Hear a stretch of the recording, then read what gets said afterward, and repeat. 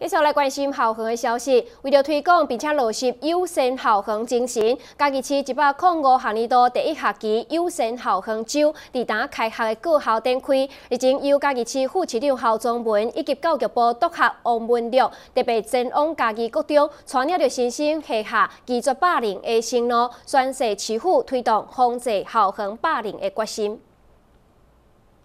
该市长近年来结合各级学校教师、家长、教育行政人员、行政单位甲社政单位力量共同努力，积极推动防止恶帮设立校园、拒绝毒品流传校园以及防治校园霸凌工作，获得社会各界重视甲肯定。日前，该市副市长侯宗文特别前往该国中，带领新生考下拒绝霸凌的承诺，宣誓市府推动防治校园霸凌决心。教育部非常重视今天的这样的活动。开始一开始啊，啊，就中央就派在呃督察啊来这边啊来关心这个议题哈。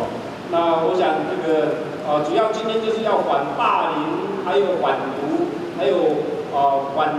不良的帮派。哦那当然，最主要目的就是要建构一个安全的、温馨的、友善的、和谐的一个校园。